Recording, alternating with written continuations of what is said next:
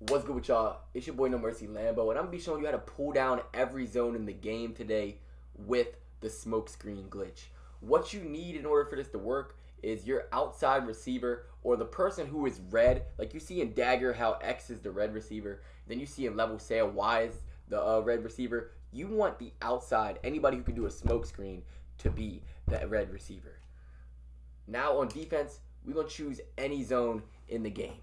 So on this play, when I smoke screen X and roll out to the right side of the pocket, all the zones are gonna fall, bro. They're all gonna drop. Watch.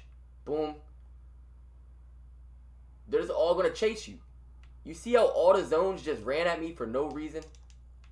Put some purples out here. Put a mid mid uh read out here. Uh some fucking this dude on his own, this dude on his own, and this dude on his own. All these zones.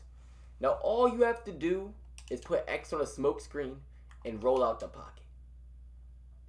And all those zones are gone. Watch. I mean, look at these dumb motherfuckers.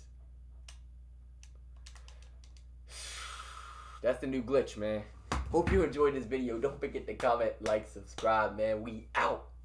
Put in some work, now my diamonds do jumping jack, jump on the stage, make a dime, have a heart attack. 21